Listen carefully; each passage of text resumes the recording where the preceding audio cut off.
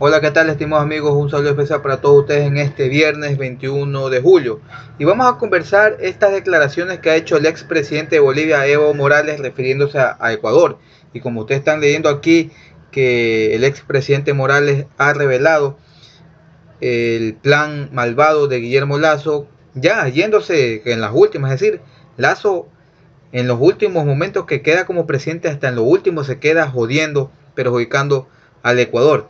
Y lo que indica, ya vamos a mostrar las capturas de todo eso, lo que indica el, el expresidente Morales es que ese famoso plan o memorándum que quiere firmar Ecuador con Estados Unidos no es otra cosa más que el plan Colombia, plan Colombia aplicado en la década de los 90 para los amigos que tienen edad, que recuerdan que ese plan de Colombia fue un completo fracaso eh, en ese país, que fue ejecutado por los propios Estados Unidos.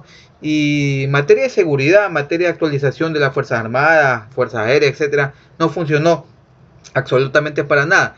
Y la prueba es que Colombia, con ocho bases que tiene de ese país, es el país número uno que exporta estas sustancias a nivel mundial, no solamente a Estados Unidos, sino a nivel mundial, es decir, el primer país, porque si ese plan hubiera funcionado, Colombia sería un país de paz actualmente, pero no, no es así. Entonces con todo esto vamos a mostrar la captura de pantalla del expresidente Morales para que ustedes se den cuenta. Démonos un segundito.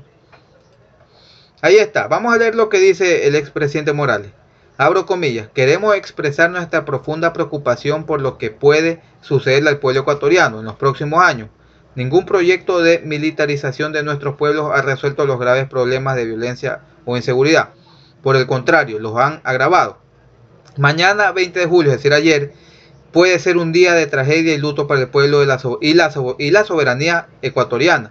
El gobierno de Biden y el gobierno de Guillermo Lazo firmarán un memorándum de entendimiento, un MOU, mediante el cual Estados Unidos se compromete a entregar 3.100 millones de dólares en 7 años. Así es, 3.100 millones en 7 años, para llevar a cabo una radical transformación de la seguridad y defensa de Ecuador que incluye una supuesta modernización de las Fuerzas Armadas y la Policía Nacional. Creemos que no se trata de una simple operación de cooperación o asistencia militar. Se trata de una estrategia de ocupación e intervención militar del Comando Sur de los Estados Unidos que podría convertir al Ecuador en un protectorado. Este proyecto de militarización dirigido por fuerzas extranjeras supondrá una nueva amenaza para los pueblos de la patria grande. Patria grande como lo fue el Plan Colombia. El movimiento indígena, el pueblo ecuatoriano y las fuerzas políticas patriotas tienen la palabra, una vez más, la hermosa e insumisa patria de Eloy Alfaro. Esta está bajo una grave amenaza, lo que indica el expresidente Morales. Y vean, esto que están viendo aquí, cuando yo leí esto, yo ya lo leí, y cuando lo estuve leyendo se me vino a la mente lo mismo que hizo Guillermo Lazo con las Islas Galápagos. Si recuerdan que Guillermo Lazo salió diciendo, hasta haciendo eh, bulla, haciendo como si fuera un, un acto heroico, una hazaña. Así más o menos que diciendo que gracias a su gestión y la de su gobierno que eh, se ha canjeado la deuda con las Islas Galápagos, etcétera, etcétera. Que en pocas palabras lo que, lo que hizo Guillermo Lazo es él es autocomprarse las Islas Galápagos. Ahorita el dueño de las Islas Galápagos se llama Guillermo Lazo. Con toda esa cuestión que ya lo explicamos en videos anteriores con el tema de la offshore de Delaware, que la misma offshore de Delaware que salió en Pandora Paper es el, mismo que está a cargo del fideicomiso de las Islas Galápagos. Es decir, Guillermo Lazo se autocompró las islas. Eso es lo que se me vino a la mente. Y este memorándum, que yo sí he visto en las noticias que Lazo quiere firmar este acuerdo con el tema de Estados Unidos para, entre comillas, y supuestamente reforzar las capacidades de la policía, de las Fuerzas Armadas, etcétera, etcétera. Pero haciendo un pequeño análisis, eso no ha funcionado, como les expliqué al, inicio del video, lo, lo, que es el Plan Colombia. El Plan Colombia en la década de los 90 fue un fracaso completo de Estados Unidos, fue un experimento hecho en ese país. Y vean, Colombia, y eso que está Gustavo Petro, un gobierno progresista, pero Petro no es Harry Potter, no es ningún mago, no es ningún hechicero para la noche a la mañana, como decía Guillermo Lazo, arreglar eso en 100 minutos. No, eso se demora décadas. Y Colombia ha quedado completamente uno de los países más inseguros, más violentos del mundo y además la exportación número uno. Así es, número uno. Colombia está como el número uno en exportación de estas sustancias Y creo que Ecuador hasta el año pasado estaba en segundo, ahorita creo que está tercero. Es decir, está peleando el segundo tercer lugar como país también que más exporta esta sustancia. Y les repito, Estados Unidos tiene como ocho bases allá y no puede controlar la, esa cuestión de esa sustancia la inseguridad. Todos sabemos que esto es un negociado. Todo esto se trata de un negociado porque yo les hago esta pregunta. ¿Quién es el país número uno consumidor de esta sustancia? Estados Unidos. Y haciendo un análisis que si se corta el suministro de estas sustancias en Estados Unidos, ¿se imaginan? ¿Se imaginan lo que sucedería? Las personas que han estudiado este tema de la abstinencia, una persona que es consumidora y de repente de la noche a la mañana ya no se mete esta sustancia, ¿qué le pasa a su cuerpo? Es un, un fenómeno que se llama la abstinencia, es decir, se vuelven locos. Más o menos Estados Unidos se convertiría como estas películas de los zombies o muertos vivientes, así.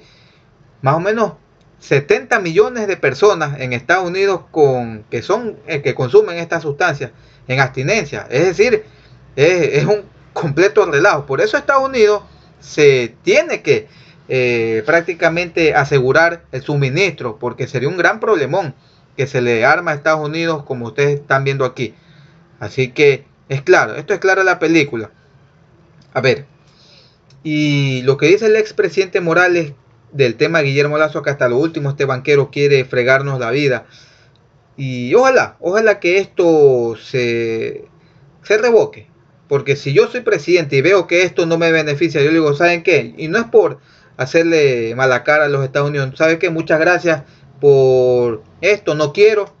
Y ahí cada quien por su, nos damos la mano y por cada quien por su camino. Pero eso sí, si de verdad quiero cooperación, y no hay que negar, Estados Unidos en temas de capacitación de seguridad es un país muy avanzado. Con mucho gusto yo aceptaría la capacitación de ellos para capacitar la policía. Todos sabemos que nuestra policía no está capacitada. Traería, y ahí sí, firmar, eh, no, no son, sí, negociaciones sería la palabra correcta. Firmar un contrato o negociaciones para que instructores de ese país vengan acá y vengan a instruir a nuestros policías, sí mismo, de instructores de europeos, rusos, chinos, que son países de primer mundo, para que vengan acá a, a, instruir, a capacitar a nuestros policías que lamentablemente no están capacitados para este tipo de decisiones. Eso se, así es que se negocia un plan, un verdadero plan de eh, este, luchar contra la inseguridad. No hacer 3.100 millones de dólares en tres, eh, bueno, en siete días, no, no, disculpen, no días, sino en siete años para aplicar un plan Colombia que fue completamente un fracaso, como le hemos explicado. Y todos ustedes sabrán que cómo quedó Colombia completamente un relajo.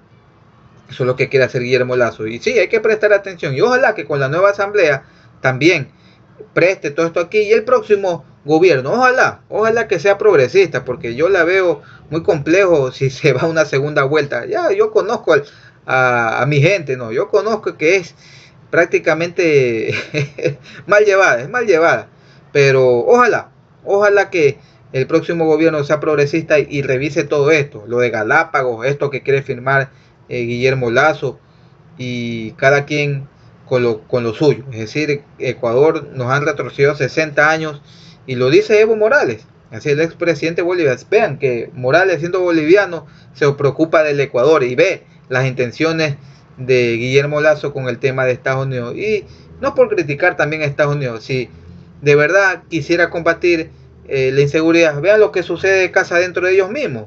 Así es, con lo que sucede en escuelas, en centros comerciales, tipos locos que se creen en Rambo, Jack Joe, si quieren de verdad pedir temas de seguridad, vayan a, pedirle ayuda a Nayib Bukele, que él ha demostrado ser el primer país de la región en temas de seguridad. Si de verdad fuera así, el Lazo iría a El Salvador a preguntarle a Bukele para no aplicar todo el modelo, pero sí las experiencias, lo que se puede mejorar. Ahí sí yo le creería, pero si vas a Estados Unidos, ya sabemos cómo termina todo esto. Bueno, eso es lo que les quería conversar.